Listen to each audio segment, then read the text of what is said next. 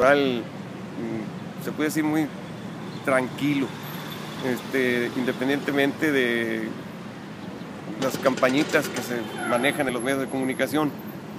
Pero siento que el electorado no está así con una gran motivación, o sea, no hay una gran calentura electoral. Eh, no sé a qué se deba, pero pues espero que esto de alguna forma también redunde en que la gente no esté realmente apática, sino que salgan a votar y que elijan a la mejor opción que, este, se encuentra aquí eh, ahorita participando en el Estado. Que por supuesto yo espero que sea a favor del PRI en el caso de lo que es la presidencia municipal, diputaciones locales, federales y por supuesto senadores. Eh, una última pregunta, de cómo